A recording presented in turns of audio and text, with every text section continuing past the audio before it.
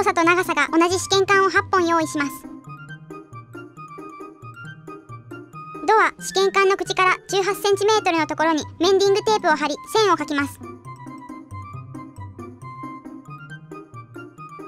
同じように試験管の口からレは 16cm ミは 14.4cm ファは 13.5cm ソは 12.1cm ラは 10.9cm シは 9.6cm ドは 9.0cm のところに線を描きます。それぞれの試験管に線より少し下まで水を入れスポイトで微調整をします。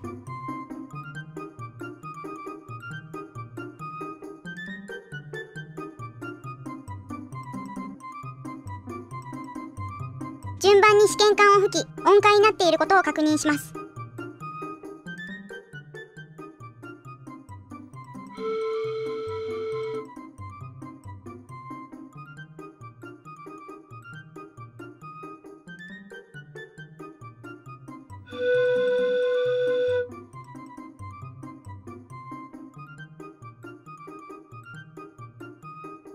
you